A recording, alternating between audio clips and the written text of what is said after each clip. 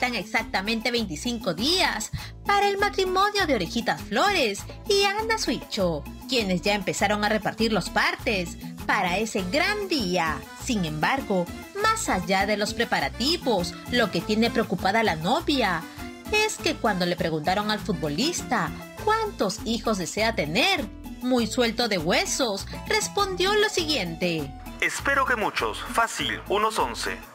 Dicen que Anita ya anda rogando a todos los santos para que esa respuesta solo haya sido una bromita.